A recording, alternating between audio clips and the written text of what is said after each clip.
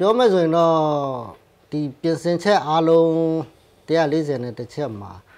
အာ95ရာခိုင်နှုန်းအထက်ရနိုင်လောက်တဲ့ပုံမှန်မတွေ့ရပါဘူး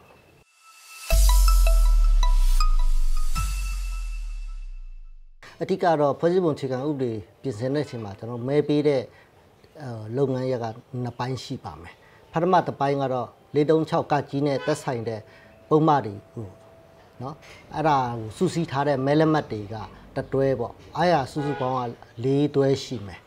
နော်ပြီးရင်436ခခွေးနဲ့သက်ဆိုင်တဲ့ပုံမှန်တွေပေါ့အဲ့ဒါတွေကိုစူးစီးထားတာကအတွဲပေါင်း၅တွဲရှိတယ်စုစုပေါင်းအတွဲ၉တွဲပေါ့အဲ့အတွဲ၉တွဲမှာဒီမဲလက်မှတ်တွေတတွဲတတွဲမှာဒီစာမျက်နှာ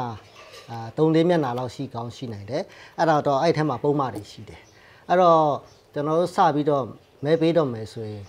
ဒီဖထမအပိုင်းတက်ပေါ့အပိုင်းတက်မှာပါတဲ့မဲလက်မှတ်တွေပါတဲ့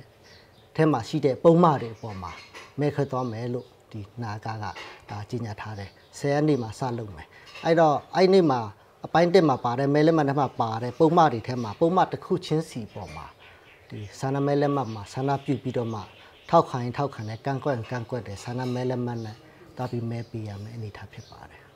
အဲနာကရဲ့ရှင်းလင်းတင်ပြချက်ရဆိုရင်တော့သူကတရက်ကို ဒီအပိုင်းတစ်ပိုင်းလှုပ်မဲ့သဘောထားမှာသဘောရှိတယ်လို့ကျွန်တော်ယူဆတယ်အဲ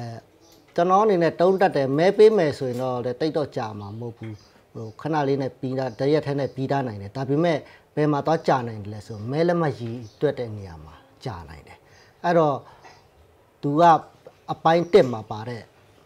ပုံမှန်တွေပဲစပြီးတော့မဲပေးဖို့လုပ်မယ်လို့သူပြီးခဲ့တဲ့တောက်ကြနေမှာသူကြီးညာလိုက်တဲ့အတွက်ကြောင့်မလို့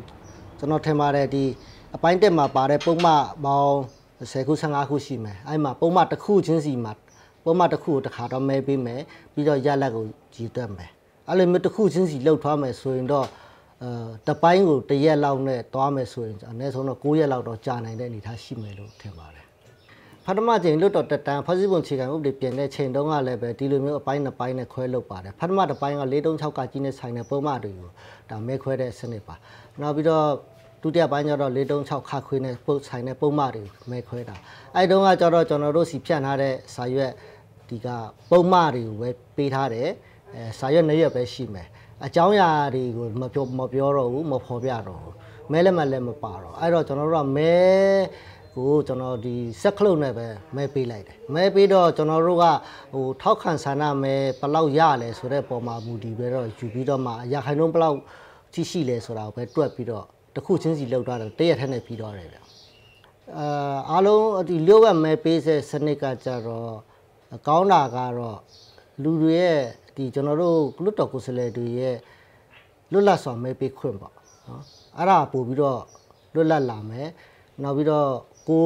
ကိုရက်တီချက်ကိုရဲတင်းတင်းဖော်ပြခွင့်ရသွားမယ်ဒါတစ်ချက်ပေါ့သူတဲ့တစ်ချက်ကမဲလက်မှတ်နဲ့မဲပေးရတာကဖြစ်တဲ့အတွက်ကြောင့်ပိုပြီးပွင့်လင်းမြင်လာမှုရှိပြီးတော့ပိုပြီးတိကျ ခိုင်မာတဲ့ရက်လက်ကိုရရှိမှာဖြစ်တယ်အဲတကယ်လို့ကျွန်တော်တို့ကဆက်ခလုတ်တုံးပြီးတော့မဲခွဲမယ်ဆိုရင်ဟိုဆက်ပိုင်းဆိုင်ရာကိစ္စတွေကိုယ်စလဲအားလုံးကနားမလဲဘူးဒါတော့တန်တရားတွေရှိနိုင်တယ်ဟိုဟိုစက်ခန်းကတော့ဘာမှလုံးမယ်လို့တော့မယူဆပါဘူးလေတိုးတော်လည်းပဲဟိုတန်တရားရှိနိုင်တယ်ပေါ့နော်ဒါဒီမဲတွေရလက်ကမှန်ကန်ရဲ့လားဟုတ်ရဟုတ်ရလားတကယ်လို့ လိုအပ်ချက်ကတမဲလောက်ပဲဖြစ်သွားပြီဆိုရင်အဲ့ဒီအချိန်မှာတော်တော်လေးစကားပြောစရာဖြစ်သွားပြီ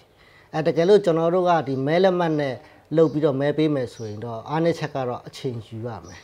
နည်းနည်းအချိန်ကြာမယ်အဲဒါပေမဲ့အားတာချက်ကတော့ခုနပြောလိုမျိုးပဲလွတ်လပ်မှုရှိမယ်ပြီးတော့ကိုရက်တီချက်ပေါ်မှာပုံမှန်ရဲတင်းတင်းနဲ့မဲပေးရဲမယ်ပြီးတော့မှတိကျမယ်တန်တရားတွေကဲမယ်ဒီအားတာချက်တွေတော့ရှိပါတယ်အဲ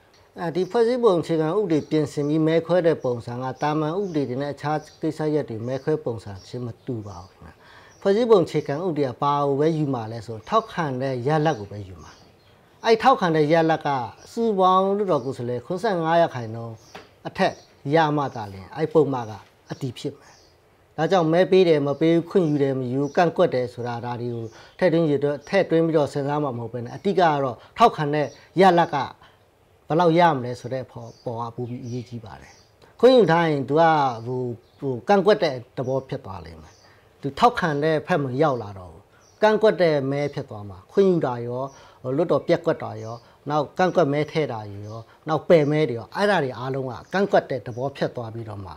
ထောက်ခံမဲရလက်က85ရာခိုင်နှုန်းမပြည့်မီတာနဲ့အဲ့ဒီပုံမှန်က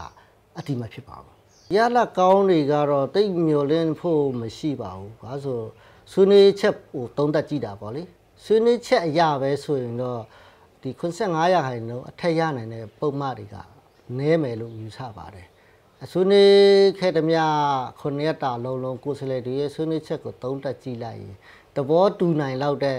အဲပုံမှန်တွေမရှိတလောက်ကိုဖျက်သွားပါတယ်အနေထားတွေ့ရတယ်ဒါကြောင့်မို့ရက်လက်ကတော့တိတ်ကောင်းမယ်လို့တော့မယူဆပါဘူး